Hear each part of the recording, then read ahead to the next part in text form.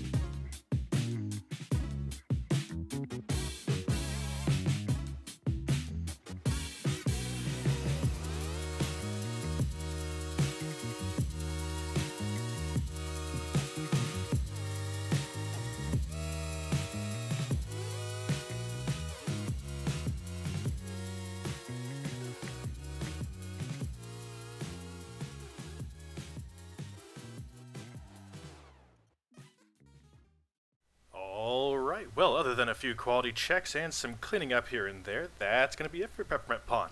This was a fun one to do, though at the end it was running pretty long. Uh, it's much longer than I was expecting it to, so I was kind of in a hurry at the end here. So, with just one last thing to do, let's go ahead and swing right into the park showcase.